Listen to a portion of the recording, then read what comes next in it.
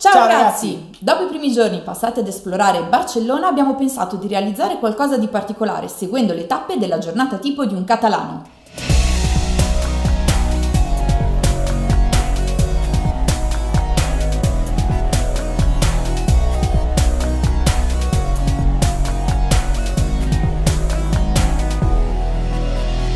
Un almuerzo in un caffè locale. In Spagna la maggior parte delle persone fa due colazioni, un po' in stile Hobbit. Una la mattina presto quando si sveglia e un'altra eh, in tarda mattinata verso le 11 che gli consente poi di tirare fino all'ora di pranzo alle 14. Durante questa pausa dal lavoro i eh, bar si affollano e i banconi vengono allestiti con piccole paste e panini con formaggio e amon, un almuerzo appunto, da accompagnare con un buon caffè. Sosta al mercato. La Boccheria è il mercato alimentare più famoso della città, ma i locals preferiscono fare i propri acquisti in quello di Santa Caterina, ad esempio, per evitare la resta di turisti. Questo è il luogo perfetto per osservare le persone nella loro quotidianità e anche per prendere piccoli souvenir davvero originali e genuini, ovviamente da mangiare. Il menù del giorno. Un tempo in Spagna tutti i ristoranti avevano l'obbligo di offrire per pranzo un menù che fosse conveniente e di qualità, il famoso menù del dia. Oggi, sebbene questa legge non sia più in vigore, molti ristoranti continuano a portare avanti questa offerta, che in genere consiste in tre portate più una bevanda ad un prezzo di circa 10 euro. Disponibile dal lunedì al venerdì,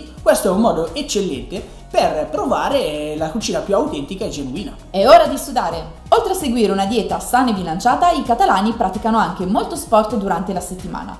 Barcellona inoltre è la città perfetta perché, avendo sia mare che montagna, offre diverse attività. Un salto alla pasticceria di Escribà. Situata sulla Rambla, la pasticceria Escribà è una delle più antiche e rinomate di Barcellona. Le vetrine sono talmente belle da far venire l'acquolina in bocca.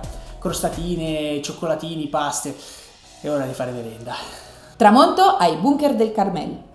Se volete godere di una delle migliori viste sulla città, i bunker del Carmel sono il posto ideale dove andare. Situati ai piedi delle colline che circondano la città, questi bunker della guerra civile sono il posto perfetto per tutte le persone che decidono di scappare dal caos cittadino e godere di una vista a 360 gradi che si stende fino al mare. Per concludere la giornata in bellezza non ci si può far mancare o un ristorantino tipico oppure un giro di tapas con gli amici. La serie di Barcellona si conclude qui, continuate a seguirci per scoprire dove andremo prossimamente. Ciao!